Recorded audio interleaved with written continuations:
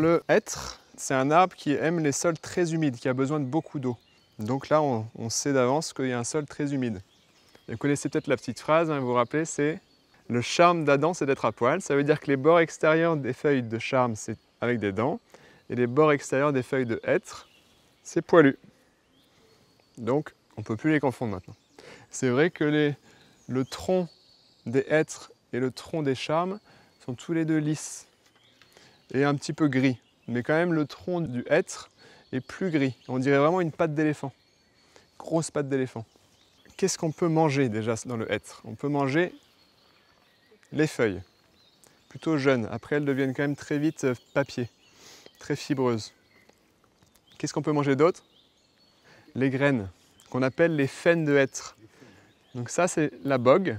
Et à l'intérieur de la bogue, il y a des graines. La bogue peut contenir 2, 3, 4 graines. Pour la manger, il faut enlever la peau. Et à l'intérieur, on a une petite graine riche en lipides qui a un petit goût d'amande, amande noisette. Très sympa à manger torréfié. Alors c'est bon, mais faut pas, quand c'est mangé comme ça directement dans la nature, faut pas non plus en manger des trop grosses quantités, parce qu'il y a une petite quantité de molécules un petit peu toxiques dans la peau qui entoure la graine.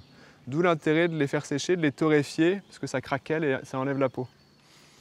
Sinon, il semblerait qu'à l'époque, ils faisaient une huile de faine de hêtre qui se bonifiait avec le temps. Au même titre que les amandes avec les noisettes, ça va apporter le même type de calories, le même type de nutriments. Et qu'est-ce qu'on fait d'autre?